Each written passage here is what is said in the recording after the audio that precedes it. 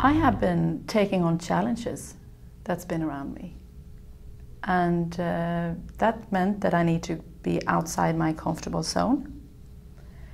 That is really a key in this. And then, of course, to deliver. If I've taken something on, then I would like to deliver with result.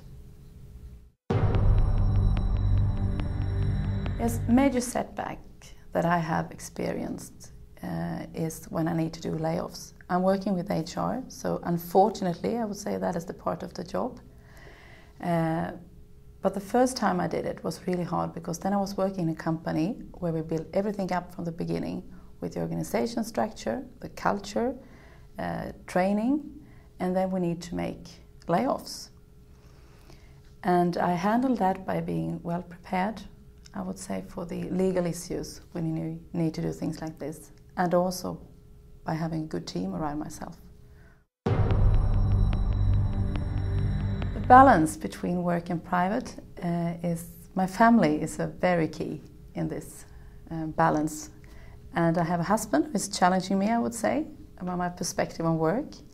And my children, well, you know, children, they just want you to be there and you just need to be there. So that is, I think, the major uh, drive for my balance. And then I also have training. Uh, since two years back, I'm doing yoga. And thanks to Alfa Laval, actually, who is uh, having this two, twice every week in the morning. So that helps me both mentally and physically. I here would like to say that in Alfa Laval, of course, we're looking for people who could perform both in result and behavior. So that is very important. And I think I would like to refer to our core values here that we're looking for people, action is the first one. So we're looking for people who want to do things. And the second one is courage.